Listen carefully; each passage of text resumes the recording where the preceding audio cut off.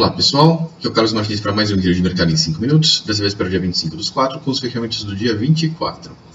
E Bovespa subiu de novo ontem, né, 1%, ele segue andando de lado. Tá? A gente tem é, aquela projeção de baixa que foi perdida, né? vamos olhar direto aqui o gráfico do Bovespa Futuro, fica mais fácil da gente ver. Aquela projeção de baixa aqui do, desse triângulo aqui, ó, ela foi perdida, ou seja, está andando na área para projeção, ele criou algumas novas figuras triângulo aqui, tá? mas ele ainda está dentro da área intraprojeção do triângulo anterior. Então a probabilidade dele bater, né?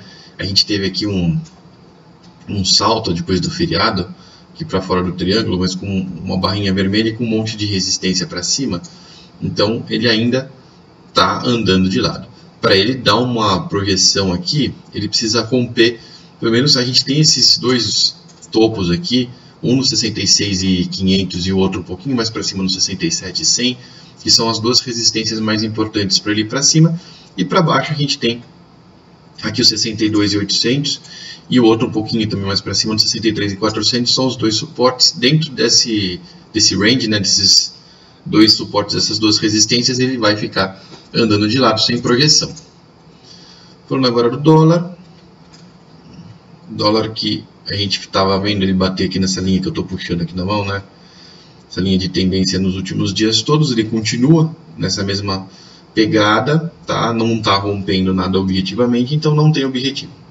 O dólar continua andando de lado. Se ele conseguir passar para cima dos 3,20, né? Ou para baixo dessa linha vermelha aqui, você vê que essa linha vermelha já está muito próxima do vértice agora, tá? Mas se ele conseguir passar, como ela tem quatro toques na linha, se ele conseguir passar para baixo, mesmo que a projeção do triângulo não seja válida, uma queda é esperada e o suporte mais forte está lá no 300, né? 2,99 300. Mas se ele perder a linha vermelha e para cima, ele precisaria passar para cima dos 3,20 dentro desse limite que ele está agora, também segue indefinido. Vamos falar dos papéis. Começando pela Petrobras, que ainda anda em volta do 14,01, né? Está sem projeção, Petrobras totalmente sem projeção.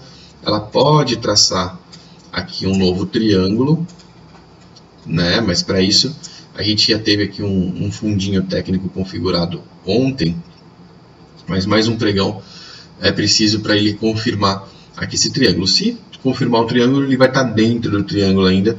Isso quer dizer que a projeção não começou. Aqui a Vale 5, Vale 5 está numa tendência de baixa, né? A gente puxa aqui pelos topos, dá para perceber que ela está numa tendência de baixa, tem um canalzinho de baixa inclusive aqui, e ela está andando dentro desse canal. Agora o 24,35 passa a ser o próximo suporte, e a próxima resistência dela nada mais é do que a base do canal aqui em cima no 27,84. O Banco do Brasil, que está com viés de baixa por causa do triângulo, segue, né? mesmo com a subida de 3% ontem, ele está fazendo o tree working aqui dentro da projeção de baixa. Se ele perder, obviamente, o 31,80 fica mais fácil ele atingir a projeção, tá? mas o stop dessa projeção está lá em cima no 3408, enquanto ele estiver andando abaixo do 3408, a projeção do triângulo está em aberto. Aqui é a YouTube, que a gente estava falando que ela está dando um bambolê em volta dessa linha azul aqui, né? Ela vai, o que é bambolê? Ela vai subindo e descendo em volta da linha azul, tá? Ela tinha rompido, depois se arrependeu e aí configurou o tal do bambolê. Não tem projeção em aberto para ela, Inclusive agora que ela voltou para a linha do 3843, ela está bem coladinha aqui em todas as linhas de força, a YouTube está bastante indefinida.